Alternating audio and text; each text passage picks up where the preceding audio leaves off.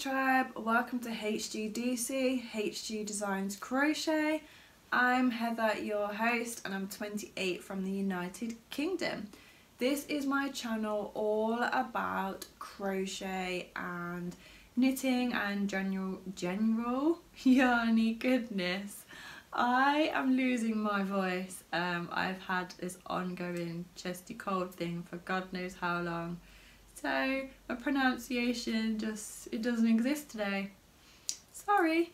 Um, but at least it makes me giggle. So yarny goodness lots of it. Today's vlog is all about magic. Um, the magic of knitting and just magic in life. Those little moments that you just think wow. And so I'm wearing my Hogwarts jumper for the occasion um, I don't know if I've said it, so I'll say it again. If you're a returning viewer, thank you so much for coming back to spend this time with me. And if you are brand new, hi, hello and welcome. Um, there are so many more of us now, like the tribe's getting so much bigger. So I just want to thank you all for liking my videos, subscribing and just sharing them because we are growing and it is amazing. Um, yeah, more giveaways. The closer we get to like the thousand milestone, the more I think there's going to be another giveaway. Okay, so magic. I um I am religious. I do believe in God, and I'm also very spiritual, and I always have been. Um, and I'm very em empathetic. I can't even I can't even say the words to say today. I can't word today. I'm a very sensitive person, I'm very empathetic, I am just, yeah. And magic is something that just keeps really popping up at the moment. So I just wanted to bring a little vlog on that to you today. Um, I am going to start with, as I'm not wearing anything yarny, though I'm sure you appreciate my Harry Potter jumper, I am going to go straight into, and again, no finished objects, I'm going to go straight into WIPs. So, yeah boy, this is a sock, the start of a sock. I am back on the sock hype. Um, I taught myself to knit a couple of years ago and the first thing I knit was a pair of two at a time, two at a time, toe up socks with contrasting cuffs, toes and heels. My oh my, I had to concentrate to get those words out. Um, and I absolutely loved it. So much fun and a really big challenge as a first knitted project. Um, and from there I've knitted a few pairs of socks. Um, and it's funny really because I enjoy them so much yet I haven't really put much time into them. And as at the end of September, start of October, I've had like a frenzy of finishing items um, and I will link to the vlog above where I show them all off. I had like four, almost five finished objects in one video. Doesn't happen guys. So because I'd finished so much, all of a sudden I didn't really have any projects I was working on. Um, so my current WIPs are the granny square jumper, um, then a jumper that I'm working on designing myself with some yarn from Rito yarn. Thank you Rito. And yeah, then I'm just working through my stash, trying to stash bust and create items that I need for my me made wardrobe. Um, and one thing that I thought once I'd got rid of a load of my languishing ongoing WIPs is I'd love to start another pair of socks. So I have. Um, these are Magic, Magic Loop socks. They're quite a long cable because normally I do mine two at a time but I decided this time that I'm just going to take my time and enjoy every moment of it and do one sock. And usually I do toe up because I do not like kitchening toes. I say that, I've never done one but I don't like the thought of kitchening a toe. Ah, but so many great projects out there. Excuse me. Um, so many great patterns out there, should I say. and they are cuff down and so by me saying right I am not doing a cuff down sock was really limiting myself and basically cutting myself off from the magic that is socks um, and so I just decided right big girl panty times it's time to just do this um, so I cast these socks this sock on the yarn that I'm using is this amazing glitter. Can you see the, oh, you can see the glitter. It's, the colorway I think is Marigold and it's on Stellina. It's sock yarn and it's from Homespun Wonders and I brought this absolutely ages ago with the intention of making a pair of socks for Beauty and the Beast and it's when the Beauty and the Beast film, film, film came out with Hermione Granger as Belle, Emma Watson as Belle. Um, and I was going to make a pair of Beauty and the Beast socks. And it was just a little bit beyond what I was capable of. Uh, capable? oh dear, my poor voice. It's a little bit beyond what I was capable of at the time. And so this yarn kind of I started another pattern pair of socks and again I tried to make a single sock into a two at a time pattern and I was getting a bit confused. I hadn't really done textured socks and long story short I frogged that and then I started another pattern. I was going to make my own and I wasn't really enjoying it and I just thought I just want to get back into socks. I'm going to follow a pattern that's already out there so that I can just enjoy them. Um, so I cast these on last night guys, last night and I already have the cuff and I'm part way through my second repeat for the leg out of nine. Um, I'm using 2.5 mil needles. It does call for 2.25 on the pattern but I don't have any.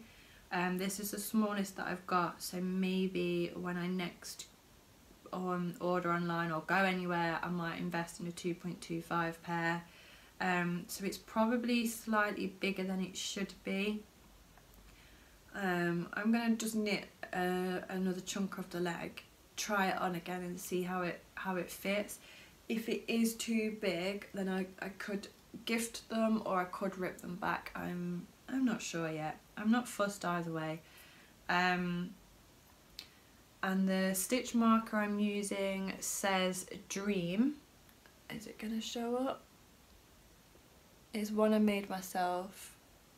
It doesn't help that I've got the shakes. And it's just a little plaque that says Dream, which I think just goes really well with my whole little magical theme I've got going on. Um, and the pattern, the pattern which is very important, is the Dotty Socks by Emma of Potter and Bloom. I always want to say plotter and boom. That's not your name. It's Potter and Bloom. So yes, it's just her free pattern. It's just one size for for women, one size for men, and a kids size. Um, if this is too big, then I might try the kids size, but on a slightly larger needle, and see if that because I've got really small feet. I'm only a size four so I could do the largest child size on a bigger needle and probably come up alright. So that's another option. Um, and I think as well, once I've done this sock and its partner, I could probably do this pattern two at a time. We'll see what the heel's like, but I could probably do it two at a time, no problem. But I'm really enjoying just having the one on the needle and not having too much to think about. Um, and I think that's one of the things that I've it really held me back from making socks is that in my head it's more practical and time efficient to make two at a time. But there isn't that many two at a time socks patterns out there that I really want to make. And so the last pair of socks that I made would be maybe around March time I was knitting on a pair whilst I was at Edinburgh Yarn Festival but they never got the heel. No, they put the heel in, and I didn't like the heel, so they never got finished. So the pair previous to that that I completed would have been my January blues socks back in January. We're now in October, and I haven't been working on socks because I wanted to do it in a more time efficient way. Like that doesn't make any sense because even if I'd have done two slow socks per month, I still have more than what I what I've done, which is nothing because I was trying to be efficient. Like I really think my relationship with time has changed a lot in the last few months and I might have to do a vlog on that and how I am more not productive but how I am more mindful with my time and so how I put it to the things that I really want to do and how I don't feel as hurried and as rushed and I do feel more productive for it. So that's probably a whole other vlog. But I've started this sock. And also I've missed sock knitting because for example I was just on hold to the doctors and I put in a whole repeat on the leg. And it's just something you can just pick up and just do a bit of. Fair enough the heel requires a bit more thinking but you can always just take a chunk of like a little chunk of time and do your heel and then carry on. So my sock has started. Um, because I frogged the start of a toe, the yarn was a little bit wrinkly like like this when I um cast on so they're definitely going to need blocking so the pattern isn't coming through as well as it could have because of the crinkles but honestly it does look really really good. And I really like the colour and that's going to look really nice because my winter boots are black just to see the little bit of this peeping it's going to be really nice pop of colour. Um, and I think in my past vlogs I've been saying how I want my clothing to be a bit more neutral but I've always always been a sucker for socks and I've always had bright bright socks and so this just keeps me happy. And you know all of the minis that I got from Edinburgh Yarn Festival originally they were going to be for a blanket and I've since said I don't need any more blankets. Like in this room in my lounge slash studio right now there are 10 blankets seven of which I've crocheted I don't need any more blankets. There is a crochet blanket on my bed which was my granddad's um, and out of them all that's the one I love the most and that's the one that I now sleep with so don't need more blankets. And if I was to use really really nice expensive like merino blend wool in all these great amazing colours for a blanket I couldn't put it on my bed because Darcy who is asleep in his bed right now I don't want to wake up puts his bum on everything that I crochet everything like I have to take my granddad's blanket and put it out of the way in the corner propped up on pillows where he can't get it or in my wardrobe because he will try and make a dent in it which is kind of fine, but it makes it furry, which I'm not that keen on. And I have to be careful he doesn't get his claws caught up in the trebles. So, because if, if Grandad's blanket was to get harmed, I'd be really gutted. Um, and I, I can see that it's probably going to need a little bit of repairing in its lifetime because when he was in the care home, the care home put it through industrial washers and dryers. Yeah, so it's super soft but you can tell it's been washed a lot. So anyway, all of those, all of those minis, I think I'm just going to put into socks. Um, and I only need 50 grams for a pair of socks. I've got loads of sock design ideas in my head.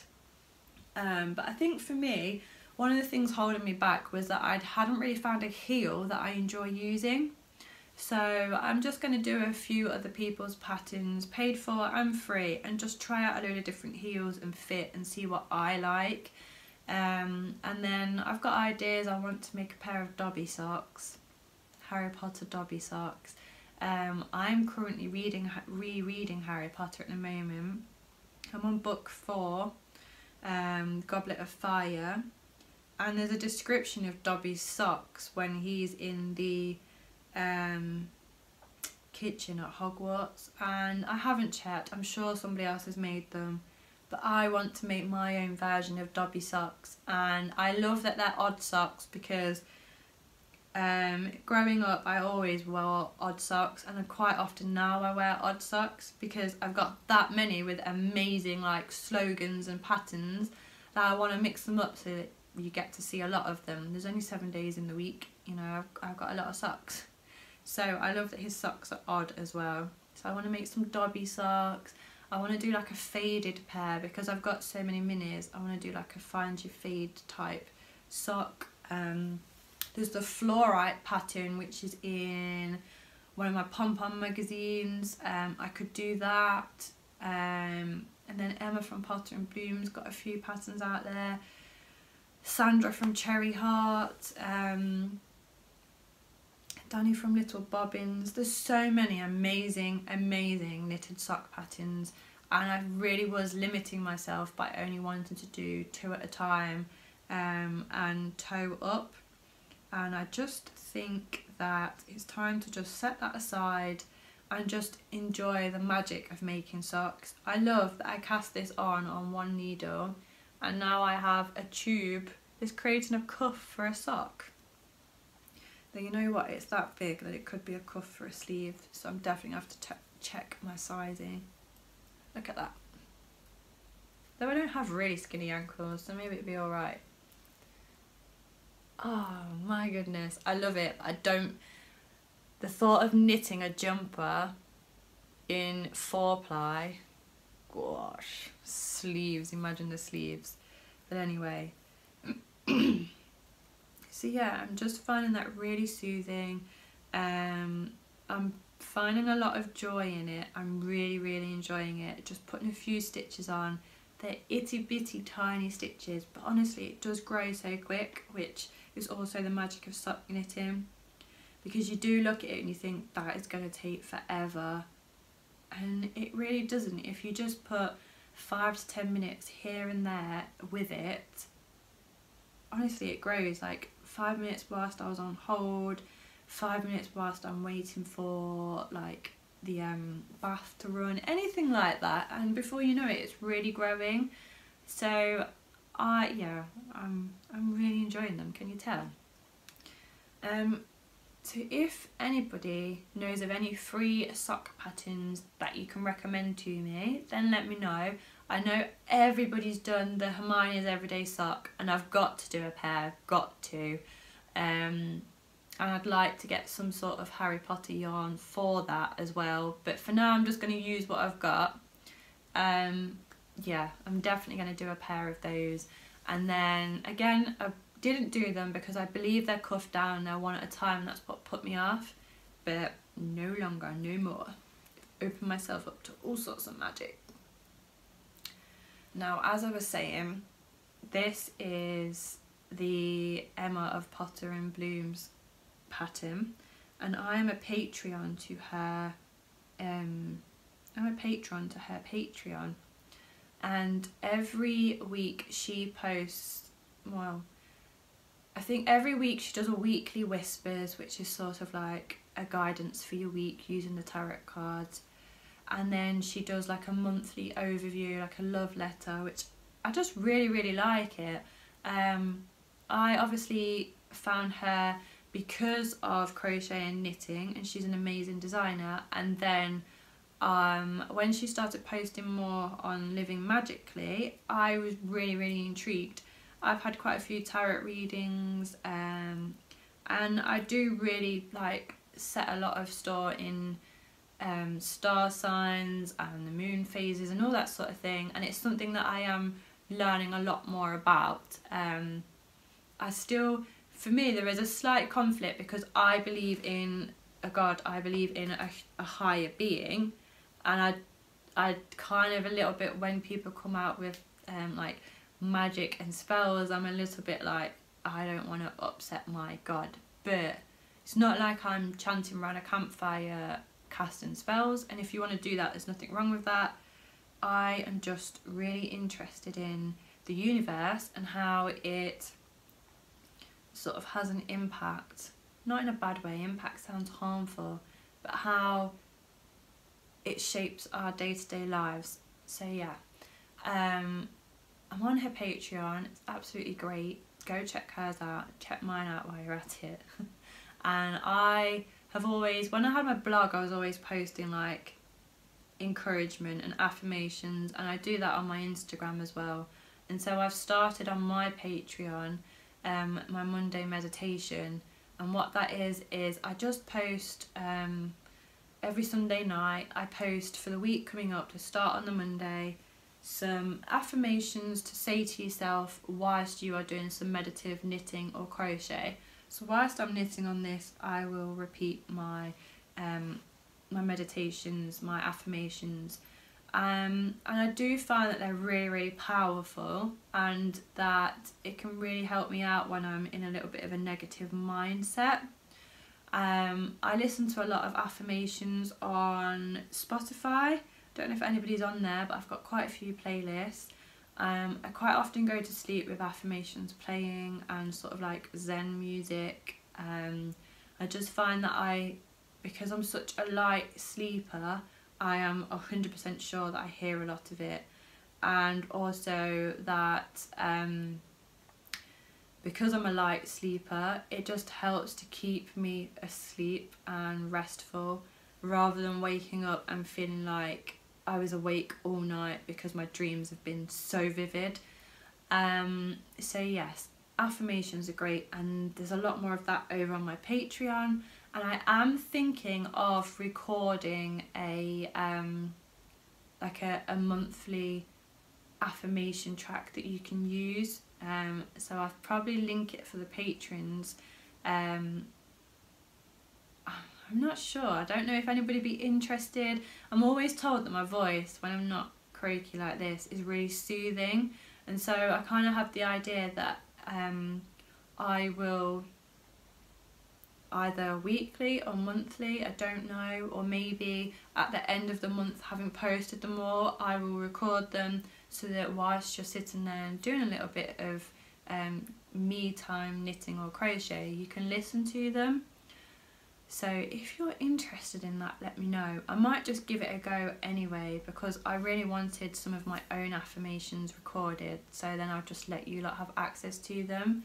Um, and if you want any themes for affirmations, then let me know because I'm happy to accommodate but yeah that's something so that's a little bit magical isn't it? Um some people poo poo at that sort of stuff but having given it a go myself it makes a big difference. If i'm feeling anxious if i sit for five or ten minutes with my knitting or my crochet and just sort of repeat these affirmations to myself and what I'll do is I'll just try and I will hold the problem I've got, I'll be aware of it in my mind and I will focus on my knitting and the affirmations and quite often I will come up with a solution to whatever problem I've been like worrying about, whatever's been bothering me. And it's also the same when I walk Darcy, sometimes I would just play affirmations and then I just walk and look around. I live in a really nice area that's quite surrounded by green areas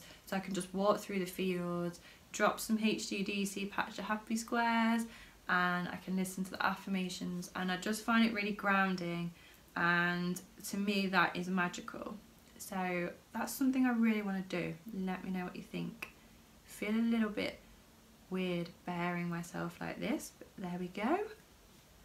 And then the other magical thing I wanted to bring to you again this is Emma from Potter and Bloom's input ages ago I don't even know how long ago she podcasted about books that she was reading. It was such a long time ago and I put it on my to-do like um on an Amazon list. I've got four or five of them so it was going to take me a while to get to it. Um, and one of the words that I use repeatedly is light. So I always say that I choose light. I choose faith and hope and light over darkness and fear and negativity um, and I use light quite a lot when I am trying to calm myself after anxiety or during anxiety. I will use, because I'm very visual, I will use like the thought of a white light healing me or calming me down or protecting me. And I find that so so comforting. And that's a bit magical because there I am sort of imagining this healing light and then I feel a loads loads better and one of the books that Emma said was called Light is the New Black. Um, and because in the last few months I've really used the word light a lot it's just something I really wanted to read upon. Whatever's going on in my life I love to read about. So I am a, I am quite quite the Hermione Granger. If there's something that I'm intrigued in I will have a pin Pinterest board about it it'll be in my journals and I will start to read and research a lot about it so um, I bought this book and I read it a few months back. So it's Light is the New Black by Rebecca Campbell. And it's all about follow what lights you up and you'll light up the world. Um, and it just basically says it's a guidebook for women who um, want to be the bright lights in the world, the modern day light workers. And it's all about guiding yourself to the callings of your soul, um, and it was such a great book honestly. It was so good. Um because I haven't read in a long long time and I think I covered this in one of my other vlogs I wasn't really finding books that I was really interested in which is silly because I know what I want to be reading. I want to be reading business and self-development. I just wasn't giving myself those books and so I wasn't really reading. And Harry Potter lots of Harry Potter. There's quite a lot of um, young adult dystopian I've always been into fantasy and sci-fi, so there's always going to be a lot of that. But I bought this book um, and I hadn't read in a long time and this was a really good book to get into because of the way the pages are set up. So like it has a quote, like this one, she left the old story behind her and stepped into a new one, one into a new once upon a time. And then it will have like a page of writing. But then, for example, on the next page it's got another quote. Her inner light always called her home. And then a little bit more writing. So because it was quite um, broken down in that way, it was a really good book to get into and to read. It wasn't too chunky or too heavy. It was really light. um, and it had some really good like parts that I really resonated with. Um, and it's got loads of journal prompts in it so I love to journal um, anybody that's watched from day one I have so many journals um, and it's got like prompts in here so this one's called answer the ache and it just says and I've just opened this at random we each have within, within us an aching that is craving to be met. It's not a physical ache and it isn't a mental one. It's much deeper than either of those. Um, and it basically says, we came into this life with it, and if it's not tended to, it will be right there when we die. It drives our deepest desires, our best decisions, and our worst. It's lying beside us when we wake up in the night and while we make a cup of tea. It's there through the highs and all of the lows. The ache is your soul calling, and no matter what you do to ignore it, numb it out, or die it down, it will never go away. Until we take the time to invite it to sit down and share with us, we will always feel a little uncomfortable, a touch of kilter, like something isn't quite right. Answer the ache. Um, and then it's got prompts at the bottom saying work your light and the questions are what is your soul aching for? What is your soul trying to tell you? And what small thing can you do to answer that ache today? Wow. This had so many thought provoking like work your light questions. It's got affirmations in here. The quotes are amazing. Um, they really, really like just wow. I think the day I got this, I randomly opened it onto a page that was just like, wow, I need to hear that.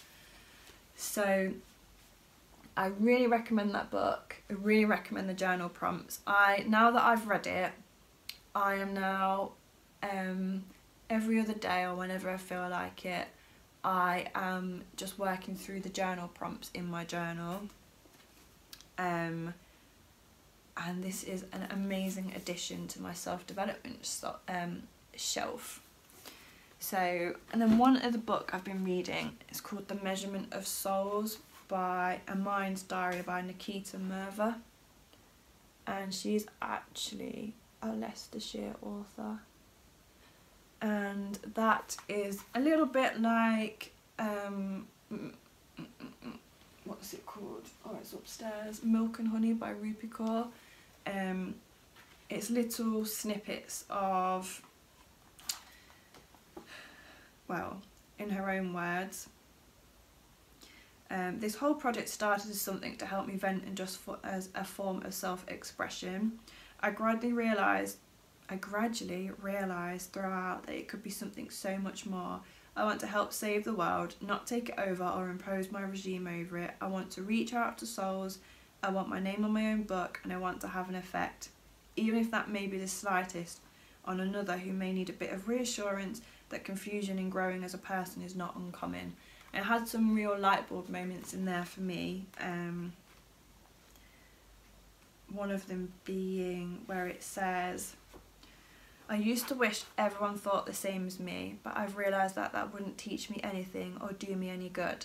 Sometimes I wish brief gestures would be returned and I'd feel as special as I do receiving as I did when I gave, just for a moment. I wish someone would put as much energy into me as I did them, but that's just not how life works. Some of these moments I read and I was like, you understand me. this is why I love books. So that's some of the books that I've been getting little magical moments from. Um, I've just been really working on me, who I am, and what I need for myself. And those books have been really good for that. And my socks, them socks have been amazing. So that's my little vlog on the magical moments in my life at the moment. A little bit different to what I normally do, but I hope that you've enjoyed it. Um, I will be back next week with a normal vlog all about all of my WIPs and everything going on. So until then, I will see you soon. Happy making tribe!